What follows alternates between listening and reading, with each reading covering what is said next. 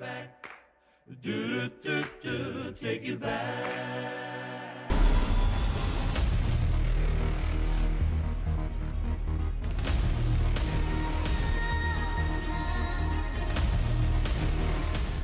Let's bring us to Wilder. You also promote Wilder. Are these guys on a collision side by side? Not right Or this second. I mean, you know, but like, like I, you know, Wilder still wants a unification fight and the biggest money fight possible. But you know what? King Kong's an excellent fighter, man. Ortiz is, he's one of the best punchers in, in boxing. He's, he's a terrific heavyweight. Um, he, he wins a couple of fights and, and he gets to the to the, that, that same kind of level. And uh, and you know, anything's possible going in the future. We have, but a, but, we have but a- right, right we have a month for Wilder. Do you know when he's coming back? I don't. Um, I have not. I, don't, I've not had the date set yet. Uh, will, will it be in Brooklyn or Nassau? Uh, Brooklyn is certainly always uh, a possibility. It's, it's some place I know Deontay would like to fight. And you also mentioned Ms. Serrano is going to be gunning for what? Fifth Her fifth, her fifth Yeah. title in her fifth weight class. And uh, are we getting a, a name for her to fight, or have the names not really been Well, the, the, the, come to the fore within the sport within America, or where's that? you know, the name that Yeah. she'd be fighting would be there's a, a woman from Argentina. There's that, that, that has not wanted to fight Amanda. Okay. It's it's going to Perspit as a technicality. Okay. We have a multi-time world champion from the Dominican Republic waiting to step in immediately, and that and then we expect to announce the fight uh, by the beginning of next week. But um, either way, uh, either fighter is a sensational oppo- you know, opponent. Um, b- both of them uh, would be for the 18-pound championship. She's- this I- I- is running if- on Showtime, If the woman that holds the title from Argentina Yeah. elects not to fight. Um, uh, Amanda, then the other woman will, with the approval of VO, step in, and she's a multi-time world champion herself from the Dominican Republic. And either way, that gets shown on Showtime. This, uh, well, Stephen will be up here to, to announce things. I'm gonna let him do that. All right, thanks, man. Okay. How you doing? Maybe Emilio, yeah, Smooth. King Kong, he's on this side. He's still with Matchroom Boxing. I know, you know, there's a difference King Kong between- is no longer with Matchroom Boxing. His, he, uh, he had a two-fight agreement with Matchroom Boxing, according to Eddie Hearn, and that agreement's now over. So will he be officially one of your fighters? Starting to No, right now he's, he's he's he's managed by Al Haymon. I'm, I'm happy to promote this fight, but uh, you know, right now he, he has no uh, you know promotional contract right now with anyone. He just signed with Al yesterday. He's King Kong. I want to know from this stable who's the Godzilla form. What can we expect for that, you know, future fight? Who's the big heavyweight name? I don't. I mean, he's got it. Look, he just he's getting in the hangover. ring on uh, April 22nd on short notice. He's getting in with a very tough guy in Derric Rossy. Um, he's going to get an opportunity to be showcased in that fight if he can look as good as as people believe he can.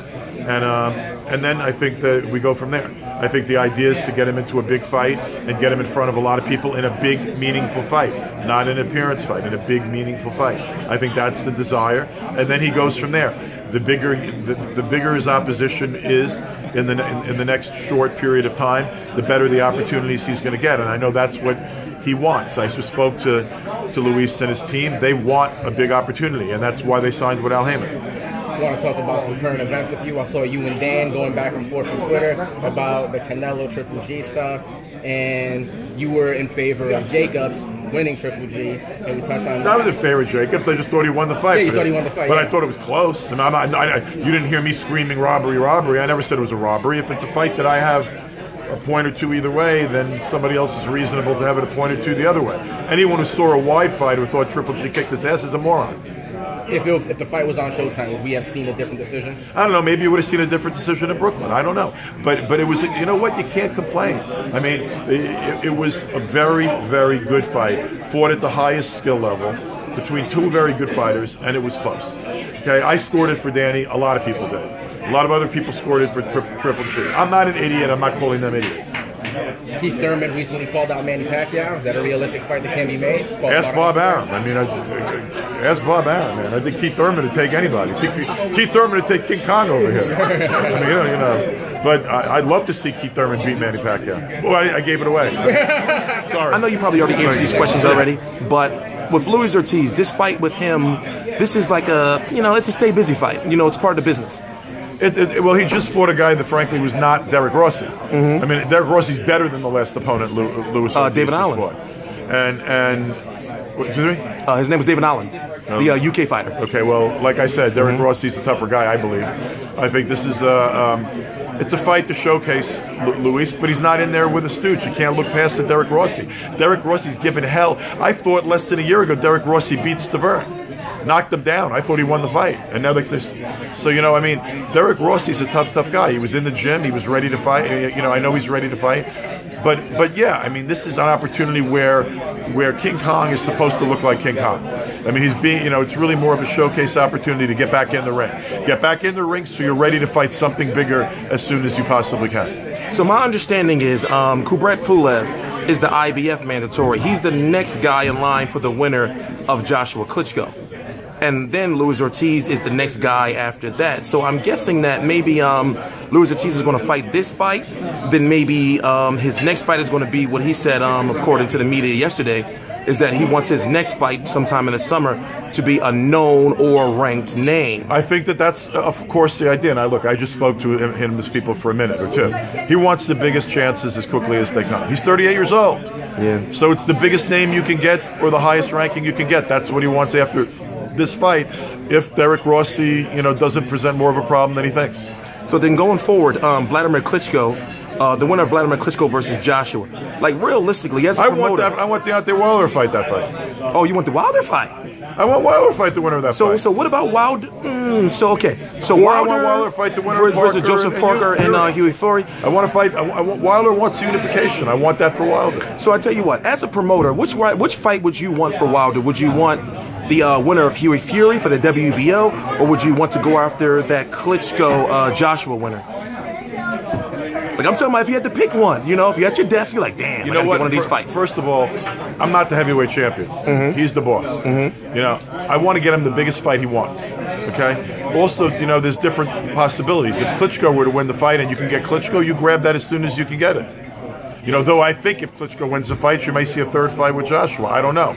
You know, I mean, obviously the Parker Hughie Fury winner is very attractive. It's a, you know, it's a, it's a unification. You know, Deontay's told me a million times. He keeps telling me over and over and over again. He wants to unify. That's what he wants. He's the heavyweight champion. He's the boss. All right, so as far as Luis Ortiz is concerned, Luis you, Ortiz, you know, Luis Ortiz can punch like a mule. He can fight his ass off. He needs he needs attention. That's why he's jumping in the ring here in this kind of situation. He's smart enough to know, and his people knows he needs attention. Get back in the ring in the United States, in Brooklyn, at the Barclays Center. Get back in the ring. People know the name Derric Rossy. I mean, you know, get in the ring and get and get a good win, and then be ready to fight as quickly as you can in the biggest fight that's put in front of you. You know, he's got to get his name bigger and get his name up there, be more active, be more present, be seen, so he can get the big money opportunities. That's why he signed with Al Haymon. That's why he's on the show. This should be on Showtime, bro? What? This fight will be on Showtime? Louis, Louis or the Steven Showtime Espinoza's ex- or, or gonna- the Showtime Extreme card headline. headlining. Steven Espinoza will be up there. I'll let, I'll let him talk about All right, it. all right. But um, I gotta go eat. but I, I- I think it's not a bad bet to guess that it'll be extreme. But, All right. but, but Steven will talk about it.